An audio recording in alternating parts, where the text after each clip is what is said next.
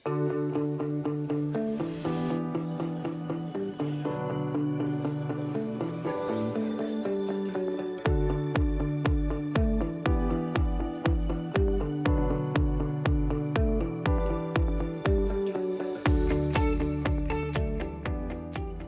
name is Mapalong Pofana.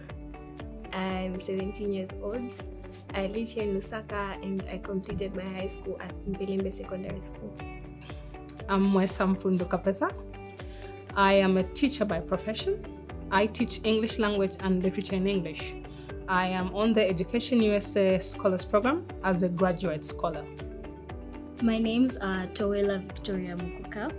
I have a bachelor's degree in business administration from the Copperbelt University, and I'm part of Education USA graduate cohort. Hi, my name is Paul Gordon. I'm the Education USA advisor and American Spaces specialist at the U.S. Embassy Zambia in Lusaka. Education USA is a program of the U.S. government and the U.S. Embassy here in Zambia to help Zambians who want to apply to study in the United States. So we assist students who want to apply for bachelor's level undergraduate study or students that want to apply for master's or PhD level study uh, in a postgraduate studies program.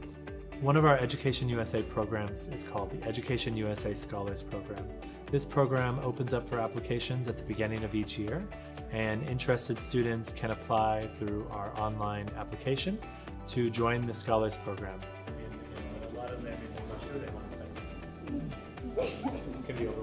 Well, I think my initial reason for wanting to study in the US is I, I want a feel of a different education.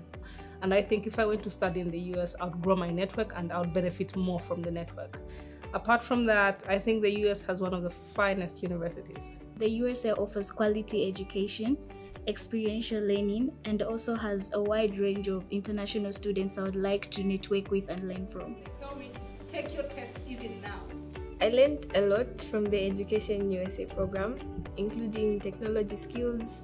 I learned how to finance your education. Like I learned that you can actually get a graduate assistantship or a teaching assistantship, and this is information that I didn't know earlier. From researching about schools, knowing which school to apply to, tips and tricks on how to get proper funding, how to write the perfect essays, and just how to submit a good application in general. So it's been an amazing learning experience. Uh, the Education USA Scholars Program also assists students with the costs of the application process, such as application fees, test fees, visa fees, and other costs of applying to the US. However, the Education USA program is not a scholarship program.